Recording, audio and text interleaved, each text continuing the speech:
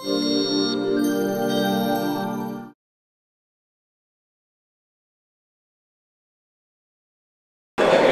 la trattativa per il personale scolastico che è all'interno del comparto istruzione e ricerca, perché non è solo questo contratto, non riguarda solo il personale della scuola, eh, sta proseguendo, diciamo, noi stiamo cercando di fare dei tavoli settoriali per andare a vedere gli ordinamenti dei vari settori, ivi compreso quello della scuola. C'è un problema di risorse finanziarie che i sindacati in generale hanno ritenuto non sufficienti, quelle già stanziate, e stiamo cercando di capire se c'è la possibilità di modificare la destinazione di alcune risorse e questo lo può fare questo governo. Per quanto riguarda la necessità di ulteriori risorse, certo bisognerà aspettare il nuovo governo e perciò la nuova legge di bilancio. Però noi nel frattempo continuiamo le trattative in maniera abbastanza serrata, serrata per cercare di chiudere nel più breve tempo possibile. Una trattativa molto complicata che riguarda non solo il personale della scuola come ho detto prima, ma altri settori fondamentali come l'università, la ricerca e l'alta formazione.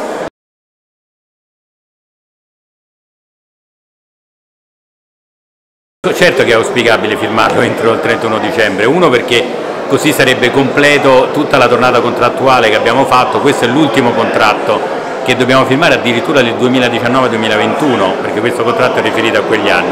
io mi auguro che se risolvono il problema delle risorse noi riusciamo a firmare questo accordo entro la fine dell'anno, almeno l'ipotesi di accordo, poi il contratto va approvato dal MEF, dal Ministero dell'Economia e Finanze, dalla Corte dei Conti e ovviamente nel 2023 esplicherà tutti gli effetti.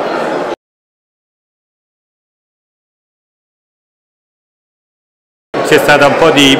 diciamo, di confusione, noi abbiamo presentato un testo perché nel, pre nel precedente contratto non era prevista la diciamo, la sezione che riguardava i provvedimenti disciplinari abbiamo fatto semplicemente una proposta. Ovviamente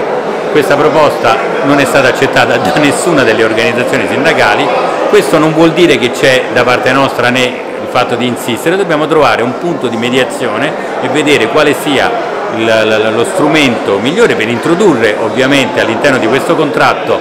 quali sono i procedimenti disciplinari e non farlo disciplinare dalla legge. Questo non vuol dire che saranno i presidi, non vuol dire che saranno eh, gli, uffici scolastici, dobbiamo trovare un accordo con le organizzazioni sindacali, così si fanno i contratti. Perciò diciamo, quella è stata una nostra proposta, la prima proposta che abbiamo fatto su questo tema e se riusciamo a trovare con, con il confronto con le organizzazioni sindacali una soluzione di mediazione riusciremo sicuramente a, a introdurre all'interno di questo contratto una sezione necessaria.